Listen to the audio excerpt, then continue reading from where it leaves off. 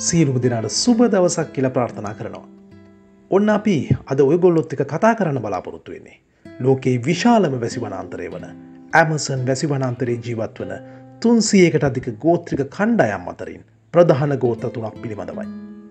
හොඳයි මේ වීඩියෝකට යන්න කලින් ඔබ තවමත් අපිව සබස්ක්‍රයිබ් කරලා නැතිනම් සබස්ක්‍රයිබ් කරලම එකතු වෙන්න කියල මතක් කරනවා. මේ වීඩියෝ එක තවත් කෙනෙකුට බලන්න ෂයා කරන්න කියලා තිල්ලා සිටින අතරේ වීඩියෝ හොඳයි කියලා හිතෙනවනම් පහලින් තියෙන කමෙන්ට් සෙක්ෂන් එකේ කමෙන්ට් එකක් දාන්නත් අමතක කරන්නට එපා.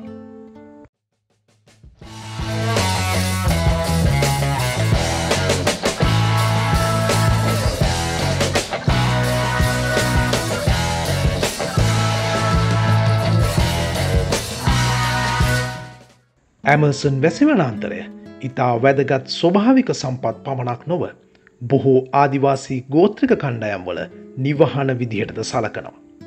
මෙම ප්‍රජාවන් වසර දහස් ගණනක් තිස්සේ ඇබර්සන් වනාන්තරයේ ජීවත් වූ අදර ඔවුන්ගේ ජීවන රටාව වනාන්තරය හා බැඳී පවතිනවා. වන විනාශය පතල් කැනීම් සහ නීතිවිරෝධී ලෙස දැව කැපීම් ඇතුළු අභියෝග රැසකට වර්තමානයේදී මොවුන් මුහුණදී සිටිනවා. ඇමසන් වනන්තරයේ බොහෝ ආදිවාසීන්ට වර්තමානයේ තව නිවෙස් ආරක්ෂා කර ගැනීමට සහ ඔවුන්ගේ සංස්කෘතිීන් ආරක්ෂා කර ගැනීමට විශාල පරිශ්‍රමයක් දැරීමට සිදුව තිබෙනවා. ඇමසන් වනන්තරයේ විවිධ ආදිවාසී ගෝත්‍ර තුන්සියකට අධික සංඛ්‍යාවත් ජීවත් වන බවට ගණන් බලා තිබෙනවා. මෙම කණ්ඩායම්වලට විවිධ සංස්කෘතීන් භාෂා සහ ජීවන රටාවන් නැති අතර ඔවුන්ගෙන් බොහෝ දෙනෙක් ආහාර ඖෂධ සහ නවාතැන් යන සියලුමදේ වනාන්තරයෙන් ලබා ගැනීමම සිදු කරනවා. ඔවුන් පරිසරයේ ජීවත් වන ශාක සහ සතුන් පිළිබඳ ගැඹුරු දැනූමක් ලබා තිබීමද විශේෂකාරණය. අද දවසේ මෙම් වනාන්තරයේ ජීවත් වන ආදිවාසී කණ්ඩායම් තුනක් පිළිබඳව කතා කරමු. අංක එක යානෝමාමි. යානුමාමි යනු බ්‍රසීලය සහ වෙනිසියුලාවේ දේශසීමාවට ආසන්නව ඇමර්සන් වනන්තරයේ ජීවත් වන ආදිවාසී ජනතාව. ඔවුන් දකුණු ඇමරිකාවේ විශාලතම හුදකලා ගෝත්‍රවලින් එකක් විදිහටද සලකන අතර ඔවුන්ගේ ජනගහනය තිස්පන්දාහක් පමණ වනු ඇතැයි ගනම් බලා තිබෙනවා. මොවුන් වනාන්තරය පුරාවිසිරී ඇති කුඩා ගම්මානවල ජීවත් වන අර්ධ සංචාරක ජනතාවක්. යානුමාමී ගෝත්‍රයට ඥාති සම්බන්ධතා සහ ස්ත්‍රීපුරුස සමාජභාවය මත පදනම් වූ සංකීර්ණ සමාජ ව්‍යහයක් තිබෙනවා. ඔවුන් තම පවුලේ කණ්ඩායමෙන් පිටත විවාහවීමට අවශ්‍ය කරන බාහිර විවාහ ක්‍රමයන් අනුගමනය කරන ගෝත්‍රයක්. යානුමාමී ගෝත්‍රය සතුව සංකීර්ණ ආධ්‍යාත්මික විශ්වාස පද්ධතියක් ඇති අතර ලෝකයේ ආත්මයන් වාසය කරන බවත්. සුවය සහ වෙනත් ප්‍රයෝජනවත් බලපෑම් ඇතිකිරීම සඳහා මෙම ආත්මයන් සමඟ සංනිවේදනය කිරීමට හැකියාව ඇති බවත් ඔවුන් තදින් විශ්වාස කරනවා. ස්වභාවික වස්තුන් සහ සංසිද්ධීන් වලට ආධ්‍යාත්මික බලයක් ඇතැයි විශ්වාස කරන ගෝත්‍රයක් ලෙසටත් මොවුන් හඳුන්වා දෙන්න පුළුවන්. යානුමාමී ගෝත්‍රිකයන් ස්වාධීන ජනතාවක් වන අතර කලහකාරී ජනතාවක් ලෙසද කීර්තියක් ලබා තිබෙනවා. ඔවුන් අසල්වැසි ගෝත්‍රිකයන් සමග ඇති ගැටුම් පිළිබඳව දීර්ඝ ඉතිහාසයට උරුමගම් කියන කණ්ඩායමක්. යානුමාමී ගෝත්‍රය යුද්ධේදී සාමාන්‍යයෙන් සැඟවී සිටීම වැටලීම සහ විශ්මිත පහරදීම් සම්බන්ධ පුහුණුවක් සහිත ගෝත්‍ර කණ්ඩායමක් ලෙසට ප්‍රසිද්ධයි. යුද්ධේදී ආයුධ විදිහට පිඹින තුවක්කු සහ විෂ සහිත ඊතල මෙන්ම මුගුරු සහ පොරෝ වැනි සාම්ප්‍රදාහික ආයුධද භාවිතා කිරීම මොවුන් සිදු කරනවා. අංක දෙක කායපෝ කායපෝ යනු බ්‍රසීලියානු ඇමර්සන් වැසි වනන්තරේ ප්‍රධාන වශයෙන් ජීවත් වන ආදිවාසී ජනතාවක්. ඔවුන් ප්‍රසීලයේ විශාලතම සහ දේශපාලනිකොවුන් වඩාත් සංකීර්ණ ස්වදීශක කණ්ඩායම් වලින් එක. මොවුන්ගේ ජනගහනය වර්තමානය වන විට අටදහස් හයසීයක් පමණ වෙනවා. කායපෝ යනු වැසි වනාන්තරයේ පුරා විසිරී ඇති කුඩා ගම්මානවල ජීවත් වන අර්ධ සංචාර්ක ජනතාවක්.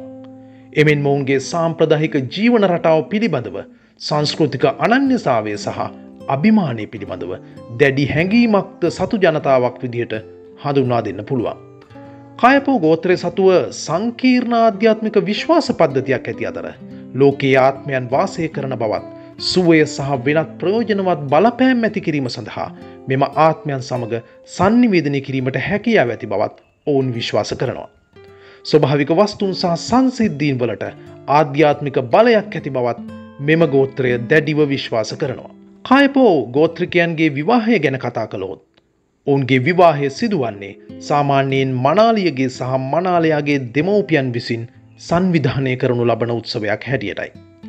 මනාලයාගේ පවුලේ අය මනාලිය වෙනුවෙන් දෑවැද්දක් ලබා දෙනවා. බහුවිවාහයට අවසර නොමැති අතර දික්කසාදය සාපේක්ෂ වශයෙන් දුර්ලභ වන බවත් සඳහන් වෙනවා. කායපෝ දරුණු සටන්කාමී ජනතාවක් ලෙස ප්‍රසිද්ධියක් ඇති අතර පිටස්තරින් සමඟ ගැටුම් පිළිබඳව දීර්ඝ ඉතිහාසයක් ඇති කණ්ඩායමක්. ඔවුන් සාම්ප්‍රදායිකෝ තම භූමිය සහ සම්පත්තාරක්ෂා කර ගැනීම සඳහා දුනු ඊතල හෙල්ල මුගුරු වැනි සාම්ප්‍රදායික ආයුධ භාවිත කර තිබෙනවා.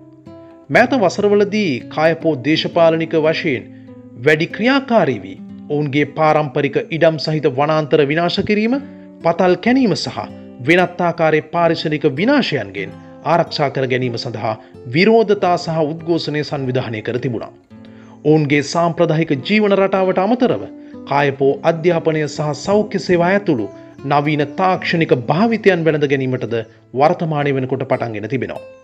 ඔවුන් මුහුණ දෙන අභියෝග රාශයක් මධ්‍යයෝද කායපෝ ඔවුන්ගේ සංස්කෘතික අනන්‍යතාවය සහ සම්ප්‍රදායන් දිගටම පවත්වාගෙන යන අතර ඔවුන්ට සහ ඔවුන්ගේ ප්‍රජාවන්ට වඩා හොඳ සුරක්ෂිත අනාගතයක් ඇති කිරීමට කටයුතු කරමින් සිටිනවා.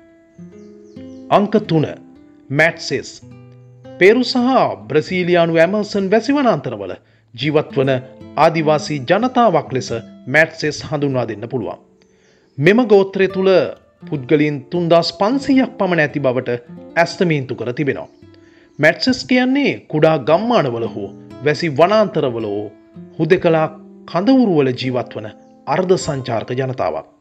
ඔවුන්ගේ සාම්ප්‍රදායික ජීවන රටාව පිළිබඳව සංස්කෘතික අනන්‍යතාවයන් සහ අභිමානයන් පිළිබඳ දැඩි හැඟීමක් සතු කණ්ඩායමක් ලෙසත් හඳුන්වන්න පුළුවන්.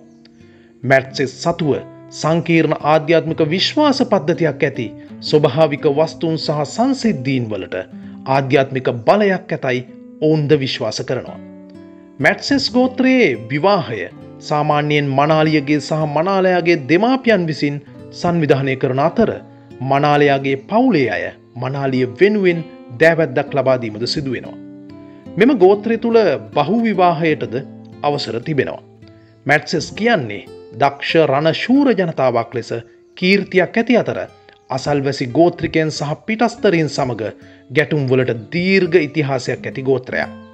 ඔවුන් සාම්ප්‍රදායිකව තම භූමිය සහ සම්පත්තා රක්ෂා කර ගැනීම සඳහා දුනු ඊතල හෙල්ල සහ මුගුරු වැනි සාම්ප්‍රදාහිකායුද භාවිතා කරනවා. ඇමසන් වනාන්තරයේ ආදිවාසී ගෝත්‍රික කණ්ඩායම් කලාපේ සංස්කෘතිය හා පාරිසරික විවිධත්වයේ වැදගත් කොටසක් ලෙසට හඳුන්වා දෙන්න පුළුවන්. වනාන්තරය සහ ඔවුන්ගේ ජීවන රටාව පිළිබඳ ඔවුන්ගේ දැනුම තිරසාර ජීවන රටාව සහ පාරිසරික සංරක්ෂණය පිළිබඳ වටිනා අවබෝධයක් ලබා දෙනවා.